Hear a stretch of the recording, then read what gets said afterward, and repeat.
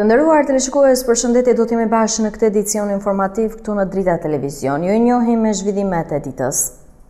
Nënkomisari Saimir Hoxha i vrarë në Lezhë do të jetë ylli 225 në murin e nderit të policisë së shtetit. Ceremonia e nderimit për dëshmorin e policisë u zhvillua nën reshjet e shiut tek Ministria e Brendshme, ndërkohë që kryeministri Edi Rama vuri në dukje se shteti do të jetë pranë fëmijëve dhe familjes së nënkomisarit për çdo nevojë.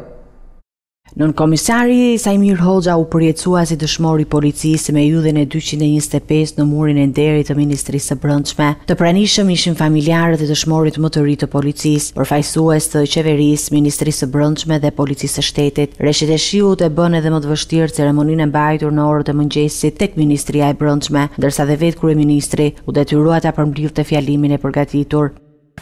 Se besoj që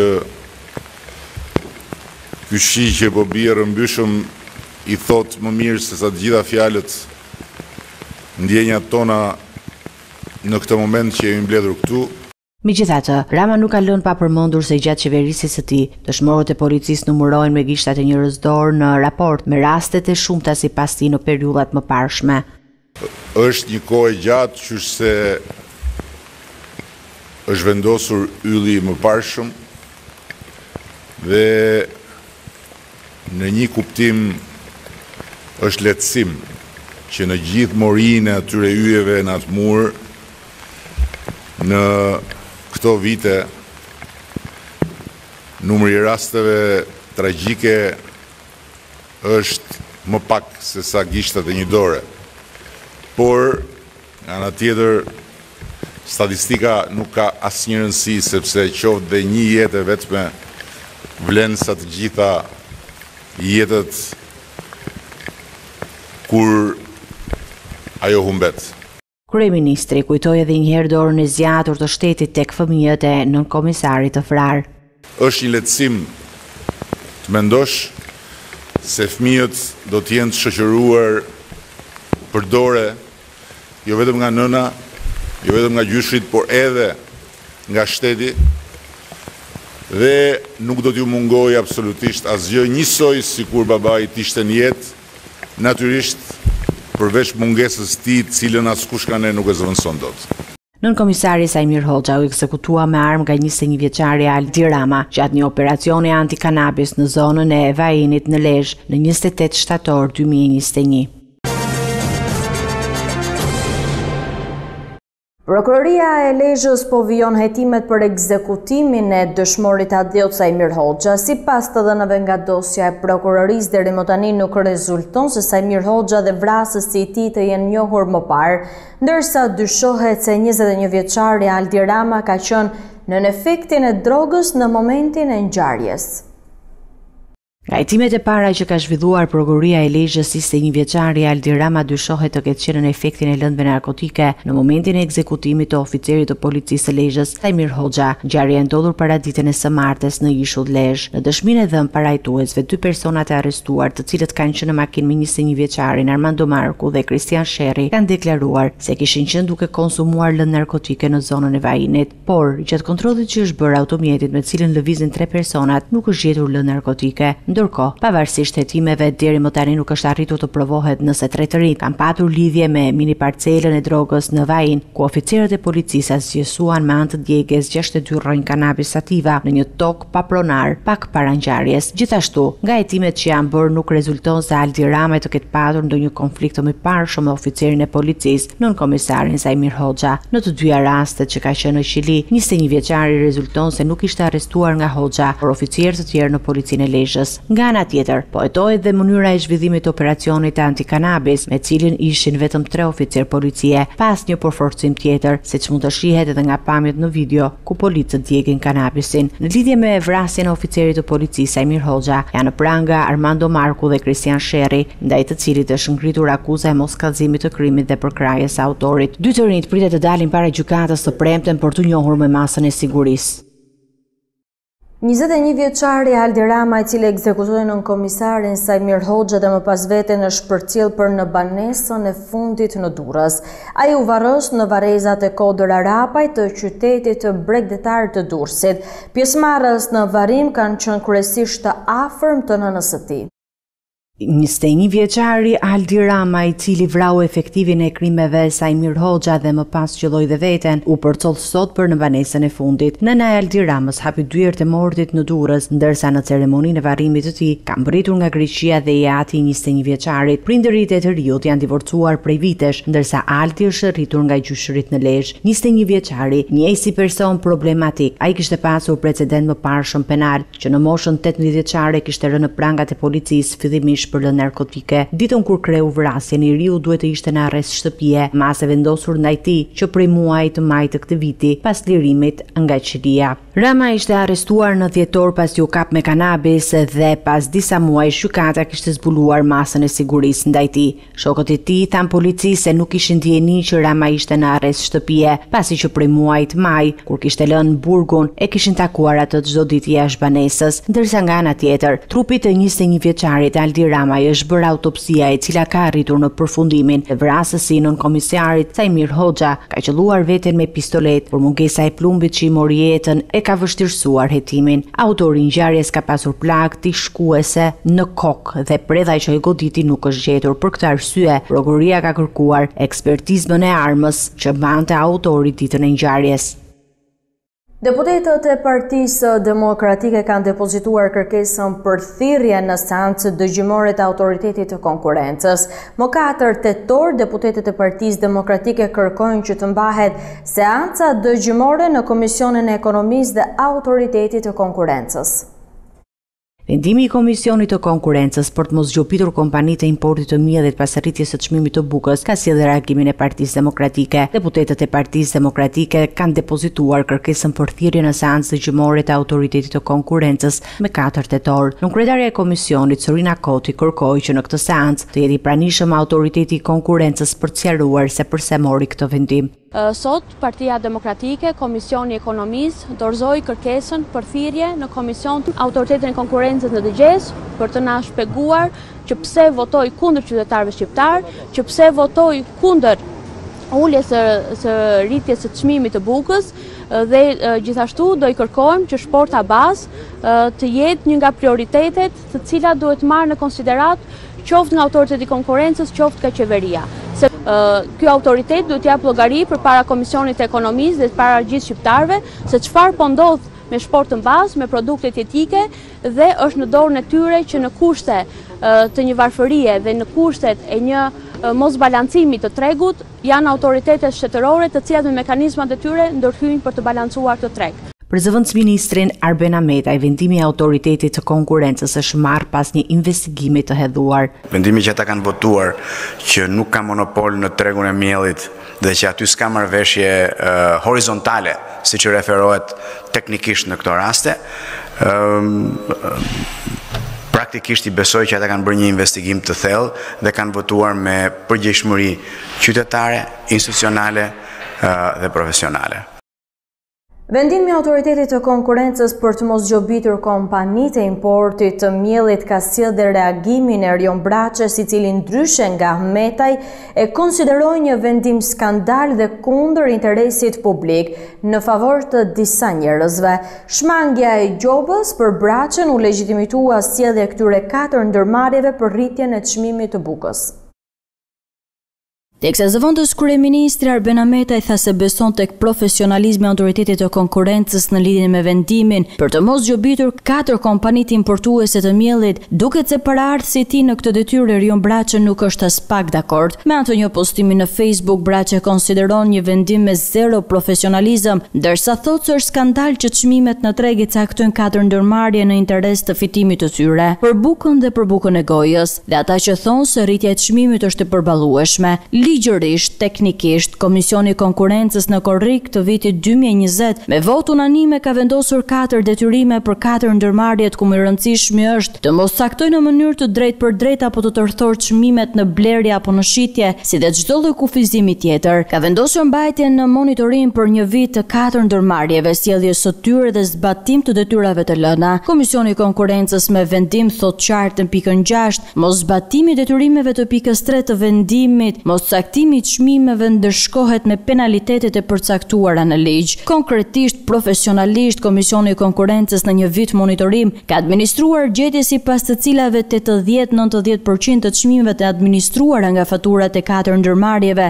kanë qenë të njëjta, të caktuara në sjellje të koordinuar. Rritje të çmimit të bukës në furrat e prodhimit të bukës si pasojë e rritjes së çmimit të miellit nga këta furnizues, pra vendimi i AK-së, Jo vetëm nuk është zbatuar, por katër ndërmarrjet kanë vijuar të caktojnë çmimet në favor të tyre, në rritje dhe në dëm të popullit. Në këtë pikë vendimi i korrikut dy mijë e njëzet thotë gjobë referuar ligjit dhjetë për qind e xhiros vjetore, pra gjoba është automatike. Asgjë profesionale nuk ka në vendimin e tre komisionerëve një ditë më parë. Zero, thjesht anëmbajtje e tyre ndaj katër ndërmarrjeve kundër popullit, interesit publik, është skandaloze për fakt. Deri në vitin një mijë e nëntëqind e nëntëdhjetë çmimet në treg i caktonte qeveria dhe në favor të popullit sipas saj, sot, tani, çmimet i caktojnë katër ndërmarrje dhe në favor të fitimit të tyre, fakt. Diferencë më të neveritshme dhe kundër shumicës nuk ka, shkruan Braçe.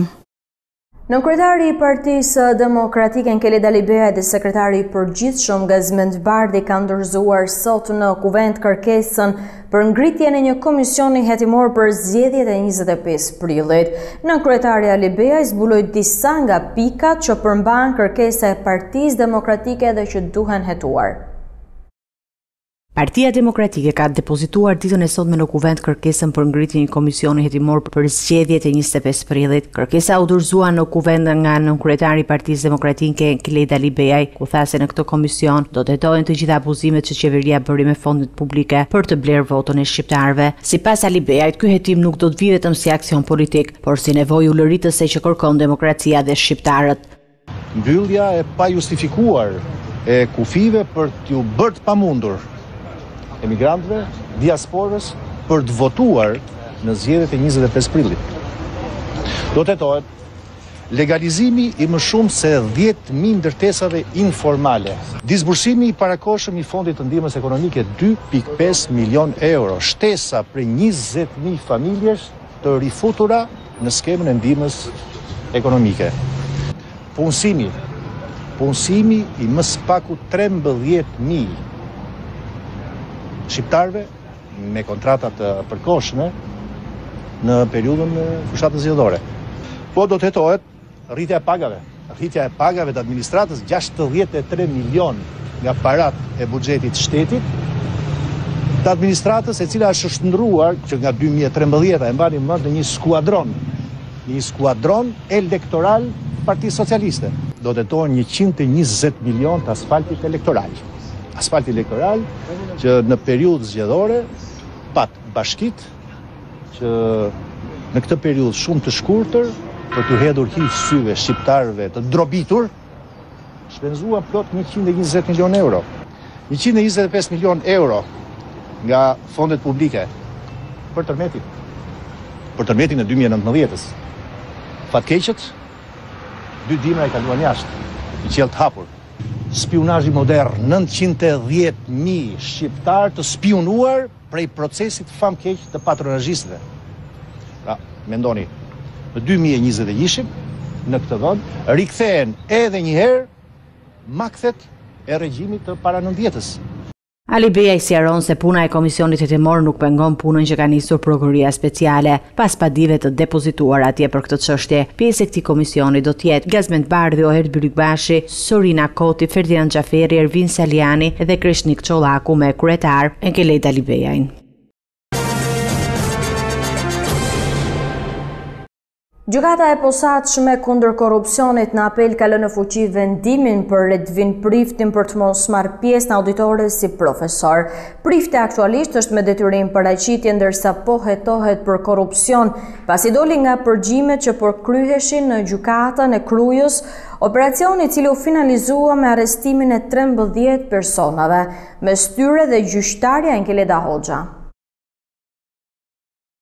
Gjykata e Posaçme e Apelit kundër Korrupsionit dhe Krimit të Organizuar ka rrëzuar kërkesën për heqjen e pezullimit nga detyra të kardiologut Edvin Prifti. Ai kërkoi kthimin për të vazhduar profesionin e tij, mirëpo kërkesa iu refuzua ditën e sotme. Prokuroria e Posaçme kundër Korrupsionit dhe Krimit të Organizuar më herët ka vendosur sekuestro mbi llogaritë bankare të mjekut Prifti. Sipas spak, ekziston dyshimi që shumat e parave të depozituara në bankë nga ana e mjekut janë produkte të veprës penale. Spak e akuzon mjekun Edvin Prifti për veprat penale, korrupsioni pasiv i personave që ushtrojnë funksione publike, dhe pastrimi i produkteve të veprës penale ose veprimtarisë kriminale. Kardiokirurgu Edvin Prifti është nën hetim prej muajsh për korrupsion e pastrim parash pasi ra në rrjetin e përgjimeve teksa prokuroria hetonte rastet e korrupsionit në Gjykatën e Krujës, operacion gjatë të cilit u vu në pranga gjyqtarja Enkeleda Hoxha. Sekretarja e këtij institucioni fliste për ryshfet për operacionin e nënës së saj dhe për para që do t'i jepte Priftit. Për këtë arsye mjeku u pezullua fillimisht nga detyra dhe më pas u vu në pranga. Gjetja e më shumë se gjysmë milion euro në shtëpi e zyrë, këqyrja e telefonit dhe laptopit i bëri prokurorët e SPAK-ut që të zgjeronin hetimet dhe të ngrinin dyshime për përfshirjen e mjekut në të tjera veprimtari të dyshimta. Doza të tjera të vaksinës Pfizer-BioNTech do të vijnë në Shqipëri brenda vitit. Qeveria ka ndryshuar marrëveshjen me kompaninë amerikane, Në Komisionin e Ekonomisë, ku u diskutua marrëveshja, ministrja e Shëndetësisë, Ogerta Manastirliu, tha se deri më tani tridhjetë e gjashtë për qind e popullsisë të targetuar është vaksinuar me të dyja dozat e vaksinës. Qeveria shqiptare ka ndryshuar marrëveshjen me kompaninë Pfizer me qëllim marrjen e pesëqind mijë doza të tjera sina brenda vitit. Në Komisionin e Ekonomisë, mbledhja për diskutimin e ligjit për tekstin e marrëveshjes me kompaninë amerikane u zhvillua pjesërisht online me deputetë të opozitës në sallë dhe ato të mazhorancës në rrjet. Ministrja e Shëndetësisë, Manastirliu, tha se dozat e reja do të vijnë me të njëjtin çmim me ato që ishin më parë. Fakti që po sjellim një amendim të marrëveshjes së nënshkruar bëhet për bëhet për arsye se uh, kjo marrëveshje nuk ka ndryshime. Pra as nuk flitet për ndryshime uh, në çmim dhe as ndryshime në kushte të tjera të kontratës. Pra uh, vjen me një sasi plus, pra plus 500.000 uh, vaksina dhe uh, afati i lëvrimit të tyre është brenda dhjetorit të këtij viti, pra brenda vitit 2021. Deri më tani, tridhjetë e gjashtë për qind e popullsisë së targetuar është vaksinuar me dy doza të vaksinës. Rreth gjashtëqind e shtatëdhjetë shqiptarë të moshës mbi tetëmbëdhjetë vjeç kanë marrë kështu të dy dozat nga katër llojet e vaksinave të administruara në vend, si Pfizer, Coronavac, Sputnik dhe AstraZeneca. Manastirliu tha po ashtu se Komiteti Teknik dhe ai i Vaksinave do të ulin fashën e moshës për bërjen e vaksinës si edhe nëse do duhet një dozë e tretë për ata që janë vaksinuar deri më tani. Deri në fund të vitit synohet rreth 3 milionë doza, ndërkohë për të vaksinuar me dy doza të gjithë popullatën e targetuar nevojiten 4.4 milionë vaksina. Sipas eh, Manastirliut, deri tani buxheti i shtetit ka shpenzuar deri në 1 milion dollarë për blerje vaksinash, ndërsa një pjesë e mirë kanë qenë dhe donacione. Një grua shtatzënë në muajin e katërt ka ndërruar jetë në spitalin Covid në QSUT dy ditë pasi u paraqit në gjendje të rëndë. 34 vjeçarja nga Lezha mësohet se ishte prekur në mushkëri nga infeksioni në masën 90%. Sipas Ministrisë së Shëndetësisë, gruaja shtatzënë nuk ishte e vaksinuar. 48 orë betejë me virusin në spitalin Covid një nuk kanë mundur t'i shpëtojnë dot jetën gruas shtatzënë nga Lezha, e cila ka mbyllur sytë në shërbimin e terapisë intensive, pasditen e ditës së mërkurë. Burimet nga Infektivi pohojnë se gruaja tridhjetë e katër vjeçare në muajin e katërt të shtatzanisë ishte vetëm dy ditë që ishte sjellë me urgjencë nga Lezha në Tiranë dhe menjëherë ishte vendosur në reanimacion për shkak të komplikacioneve të rënda me një prekje mbi nëntëdhjetë për qind të mushkërisë. Pa kaluar as njëzet e katër orë nga mbërritja në spital, mjekët janë detyruar ta intubojnë gruan e rënduar dhe nga shtatzania dhe pak orë pas intubimit, ajo ka ndërruar jetë bashkë me foshnjën. Sipas Ministrisë së Shëndetësisë, gruaja shtatzanë nuk ishte vaksinuar, ndërsa vetë mjekët e infektivit shprehin shqetësimin për ardhjen me shumë vonesë të pacientes në spital, pasi pneumonia është bërë masive dhe ka pushtuar të gjithë krin. Ky ishte rasti i dytë brenda një muaji që një grua e re humb jetën gjatë shtatzanisë nga Covid nëntëmbëdhjetë. Një javë më parë një tridhjetë vjeçare nga Maqellara humbi jetën nga Covid nëntëmbëdhjetë ndërsa po trajtohej në reanimacionin qendror. Gruaja në muajin e fundit të shtatzanisë i është nënshtruar protokollit të lindjes së parakohshme pasi parametrat vitalë thuan rënie të menjëhershme. Mësohet se foshnja është mirë me shëndet. Aktualisht në spitalin infektiv ndodhet vetëm një rast shtatzanie me Covid nëntëmbëdhjetë, ndërsa pacientja e fundit shtatzënë në reanimacionin qendror të QSUT-së ka lënë spitalin për të vijuar rehabilitimin post-Covid në banesë. Bilanci i njëzet e katër orëve të fundit i Covid nëntëmbëdhjetë nga Ministria e Shëndetësisë u paraqit me trembëdhjetë viktima dhe gjashtëqind e gjashtëdhjetë e nëntë raste të reja infektimi. Nga ana tjetër u tha se në spitalet Covid po marrin trajtim njëqind e pesëdhjetë e tetë pacientë, nga të cilët pesëmbëdhjetë prej tyre janë në gjendje më të rënduar. Vijojnë të mbeten të larta shifrat nga Covid nëntëmbëdhjetë në vendin tonë. Ministria e Shëndetësisë njoftoi se në njëzet e katër orët e fundit, nga katër mijë e tetëqind e tridhjetë e pesë testime të kryera kanë rezultuar pozitivë me Covid nëntëmbëdhjetë, gjashtëqind e gjashtëdhjetë e nëntë qytetarë. Bashkitë të cilat kanë shënuar numrin më të lartë të infektimeve rezultojnë të jenë Tirana me dyqind e shtatëdhjetë e pesë raste të reja, Fieri me pesëdhjetë e shtatë raste, tridhjetë e katër raste në Durrës, njëzet e shtatë në Vlorë, njëzet e pesë në Shkodër, Lushnje dhe njëzet raste në Sarandë. Në njëzet e katër orët e fundit nuk e kanë fituar betejën me virusin trembëdhjetë qytetarë dhe bëhet fjalë për një tridhjetë e katër vjeçare nga Lezha, një pesëdhjetë e dy vjeçare nga Librazhdi, Një pesëdhjetë e pesë vjeçar nga Fieri, gjashtë qytetarë nga Tirana të moshave gjashtëdhjetë e katër deri në shtatëdhjetë e gjashtë vjeç, dy qytetarë nga Kurbini të moshave gjashtëdhjetë e një dhe gjashtëdhjetë e gjashtë vjeç dhe dy qytetarë nga Durrësi të moshave shtatëdhjetë e gjashtë dhe tetëdhjetë e gjashtë vjeç. Sipas Ministrisë së Shëndetësisë aktualisht në spitalet Covid po marrin trajtim të specializuar njëqind e pesëdhjetë e tetë pacientë, nga të cilët pesëmbëdhjetë janë në gjendje më të rënduar shëndetësore. Në njëzet e katër orë janë shëruar dhe nëntëqind e tridhjetë e gjashtë qytetarë, duke e çuar numrin e të shëruarve në njëqind e pesëdhjetë e shtatë mijë e gjashtëqind e dhjetë që nga fillimi i epidemisë. Aktualisht janë nëntë mijë e tetëqind e njëzet e tre pacientë aktivë me Covid nëntëmbëdhjetë në gjithë vendin, ndërsa numri i rasteve pozitive në total ka shkuar tashmë në njëqind e shtatëdhjetë mijë e njëqind e tridhjetë e një.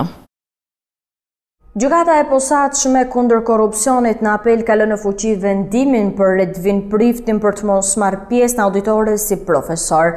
Prifti aktualisht është me detyrim paraqitje ndërsa po hetohet për korrupsion, pasi doli nga përgjimet që po kryheshin në gjykatën e Krujës, operacion i cili u finalizua me arrestimin e 13 personave, mes tyre dhe gjyqtarja Enkeleda Hoxha. Ecim me të tjera informacione. Një përmirësim i situatës së koronavirusit u raportua nga Ministria e Shëndetësisë në Kosovë. Bilanci i 24 orëve të fundit u paraqit konkretisht me 4 humbje jete të shënuara nga virusi dhe 45 raste të reja infektimi.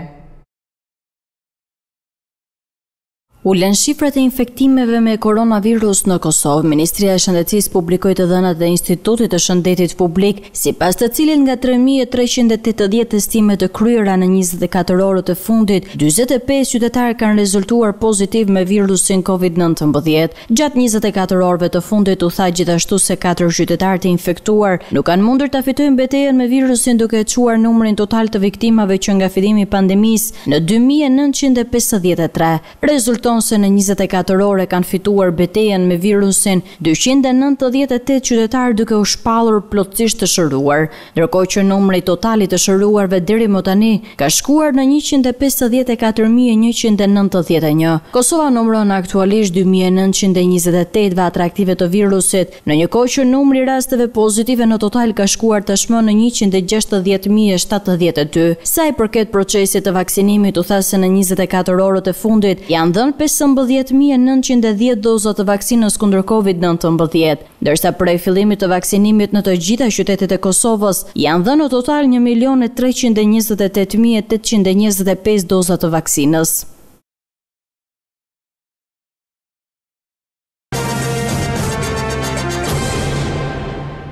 Gjykata e Posaçme e Apelit ka lënë në burg ish-kryetarin e Bashkisë së Lushnjës Fatos Tushe duke lënë në fuqi masën e sigurisë arrest me burg të shkallës së parë. Pavarësisht raporteve mjekësore të paraqitura nga ana e avokatit, gjykata nuk ka pranuar t'i ndryshojë atij masën e sigurisë me argumentin se me këto sëmundje ai mund të kurohet dhe në ambientet e burgut. Ish-kryebashkiaku i Lushnjes Fatos Tushe i akuzuar nga SPAK për shpërdorim detyre do të vijojë të qëndrojë në burg, edhe pse ka kërkuar katër herë lirimin e tij nga qelia. Gjykata e Posaçme kundër Korrupsionit ka rrëzuar këtë kërkesë duke e lënë në burg. Tushe kërkoi masë më të butë me argumentin se nuk është në gjendje të mirë shëndetësore, por kërkesa është rrëzuar nga GJKKO. E njëjta gjë është kërkuar nga Tushe edhe me trembëdhjetë shtator, por u hodh poshtë nga GJKKO. Ish-kryebashkiaku i Lushnjes pretendon se vuan nga zemra, diabeti, gurët në tëmth dhe se ka kolesterol të lartë. Në seancën e fundit e zhvilluar për Tushen, Gjykata e Posaçme kundër Krimit dhe Korrupsionit përcaktoi dy mjekë që të nxjerrin një raport përfundimtar mbi gjendjen shëndetësore të tij, për të vërtetuar kështu nëse sëmundjet që ai pretendon i rrezikojnë qëndrimin në qeli, por duket se ende nuk ka një raport përfundimtar prej tyre. Ndërkohë, në burg vijon të jetë edhe ish-vartësi i Tushes dhe dy biznesmenët, Ibrahim Lami dhe Bujar Murati. të arrestuar për favorizim në tendera. Fatos Tusha u arrestua me gjashtë korrik me dhjetë ish-vartësit e tij nga një operacion i ndërmarrë nga SPAK për akuzën e shpërdorimit të detyrës. Bëhej fjalë për një tender me vlerë rreth njëzet e tre milionë lekë për rehabilitimin e një kanali ujitës në fshatrat Bishqethëm dhe Bitaj. Ky tender është fituar nga kompania Euroalp SHPK, që kishte sjellë ofertën më të lartë. Por më pas, punimet, fitimet dhe punën e ka bërë një tjetër kompani e biznesmenit Ibrahim Lami. Ky i fundit, nga sa specifikohet në dosje, ka lidhje të ngushtë shoqërore me Tushen, si dhe familjen familjare me biznesmenin që ishte shpallur fituesi i tenderit Bujar Muratin. Në fund, Lami dhe Murati ndanin paratë bashkë. Tushe ka dalë në përgjime edhe teksa abuzon me karburantin e shtetit duke furnizuar makinat e të njohurve të tij, mes tyre dhe të djalit të një deputeti dhe një gazetari të njohur në Tiranë, si edhe ka ndërhyrë Në një banesë që po ndërtohej pa leje, që inspektorët të mos shkonin për kontroll. Ish-kryebashkiaku i Lushnjes u shkarkua nga detyra nga kryeministri i vendit pas aferave korruptive me të cilën ai ishte përfshirë. Dy persona kanë rënë në prangat e policisë pasi u kapën duke transportuar trembëdhjetë emigrantë të paligjshëm, të cilëve iu kishin premtuar Kalimin drejt vendeve të BE-së kundrejt pagesës. Policia e Lezhës njoftoi se janë arrestuar në flagrancë shtetasit FG 30 vjeç banues në Fushë-Krujë dhe AB 33 vjeç banues në Durrës.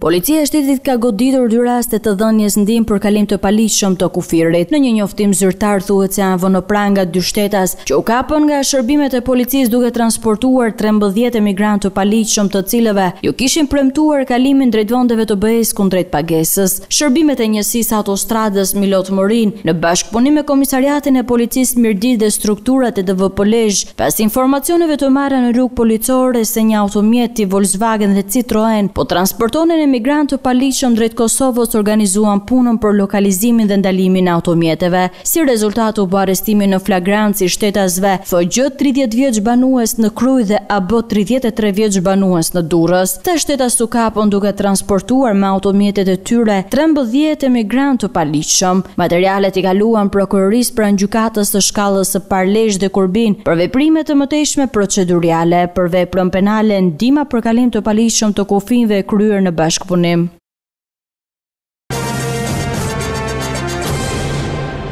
I dërguari special i Bashkimit Evropian për dialogun mes Kosovës dhe Serbisë, Miroslav Lajçak, ka thënë se është arritur marrëveshje për shtensionimin e situatës në veri të Kosovës.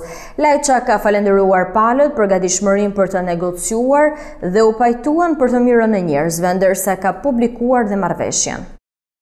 I dërguari i Bashkimit Evropian për dialogun Kosovë-Serbi, Miroslav Lajçak, ka njoftuar se të dy palët kanë arritur një marrëveshje lidhur me krizën e shkaktuar së fundmi në pikën kalimtare kufitare në Jarinjë dhe Bërnjak. Lajçak ka shkruar se pas dy ditësh negociata, është arritur marrëveshja që normalizimin e situatës në veri të Kosovës. E kemi një marrëveshje. Pas dy ditësh negociatash, intensive, një marrëveshje për deeskalimin dhe rrugën përpara sapo është arritur. E falenderoj Besnik Bislimin dhe Petar Petkoviç për gatishmërinë e tyre për të negociuar dhe për të pajtuar më të mirën e njerëzve, shkroi Lajçak. Në njoftim thuhet se palët kanë rënë dakord për tre pika. Në pikën e parë nga dy tetori do të tërhiqen barrikadat bllokuese në Jarinjë dhe Bërnjak dhe brenda tetë orësh do të largohen edhe forcat policore të Kosovës dhe Serbisë. Misioni i NATO-s në Kosovë, KFOR do të angazhohet në këto dy pika në Jarinjë dhe Bërnjak para nisjes së tërheqjes së zyrtarëve policorë dhe barrikadave dhe do të qëndrojnë aty për dy javë për të garantuar sigurinë. Pika e dytë, Më dy tetor do të hyjë në fuqi vendosja e targave të përkohshme, të cilat do të jenë në formën e stikersve, të cilat do të mbivendosen në targat e përhershme. Kjo masë do të jetë e përkohshme sa të gjendet një zgjidhje e përhershme. Në pikën e tretë, thuhet se palët kanë rënë dakord, për krijimin e një grupi pune të përbërë nga përfaqësuesit të Kosovës dhe Serbisë dhe i kryesuar nga Bashkimi Europian, për të gjetur një zgjidhje të përhershme për çështjet e targave. Takimi i parë i grupit të punës do të mbahet më njëzet e një tetor në Bruksel. Brenda gjashtë muajve nga takimi i parë, grupi i punës do të paraqesë gjetjen e tij mbi një lëvizje të përhershme. Që nga njëzet shtatori, kur u vendos masa e reciprocitetit për targat me Serbinë, Serbët lokalë kanë bllokuar rrugët që çojnë në pikëkalimet kufitare të Jarinjës dhe Bërnjakut, lidhur me gjetjen e një zgjidhjeje për situatën e krijuar pas vendosjes së reciprocitetit në Bruksel të mërkurën dhe të enjten janë mbajtur bisedime të ndërmjetësuara nga Bashkimi Europian. Më njëzet e nëntë shtator, kreu i delegacionit të Kosovës, Besnik Bislimi, tha se është arritur dakortësia për një draft marrëveshje, e cila pritet të merrte pëlqimin edhe të palës serbe. Presidenti i Serbisë Aleksandër Vuçiç ka folur pas arritjes së marrëveshjes në Bruksel në lidhje me reciprocitetin e targave dhe situatës në Jarinjë dhe Bërnjak, duke theksuar heqjen e forcave speciale të policisë së Kosovës nga veriu. Vuçiç tha se e cilëson sukses të madh marrëveshjen e arritur.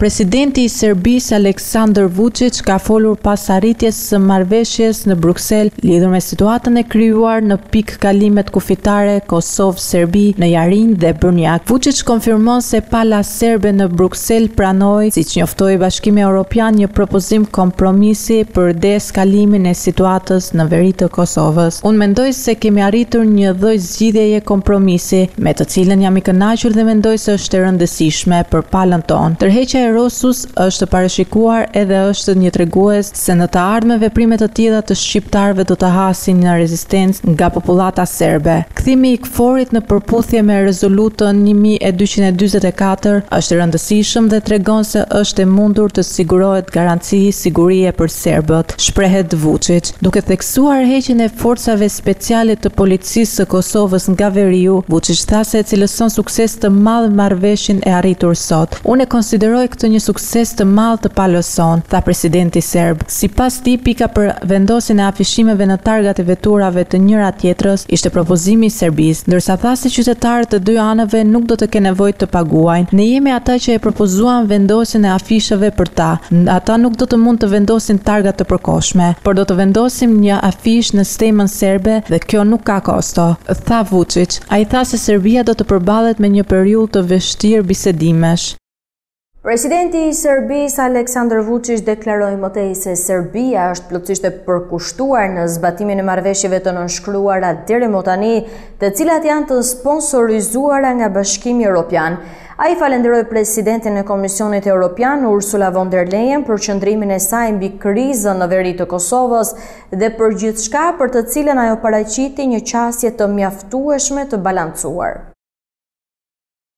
Presidenti i Serbisë, Aleksandër Vuçiç, ka pritur sot në një takim presidenten e Komisionit Europian, Ursula von der Leyen, ku edhe e ka falënderuar për fjalët e arsyeshme dhe qëndrimin e saj mbi krizën në veri të Kosovës. Gjatë fjalës së saj, Vuçiç pranoi se Serbia s'do të anëtarësohet në Bashkimin Europian derisa t'i zgjidhë problemet me Kosovën. Le ta ruajmë paqen dhe të nënshkruajmë sa më shumë marrëveshje që do të thotë ekonomi më e mirë për të gjithë ne. Serbia nuk do të jetë anëtare e Bashkimit Europian derisa t'i zgjidhë marrëdhëniet me Prishtinën, por ne do të luftojmë për zgjidhjen e gjërave, tha Vuçiç. Ai tha se presidentja e Komisionit Europian pati një qasje të balancuar lidhur me zhvillimet në veri të Kosovës. Duke e falenderuar atë, unë u jam veçanërisht mirënjohës për qëndrimin tuaj mbi krizën në Kosovën veriore me një qasje të balancuar, tha Vuçiç. Të nderuar teleshikues kjo ishte gjithçka e përgatitur për këtë edicion informativ, unë ju falenderoj për vëmendjen tuaj dhe bashkë mirutakofshim.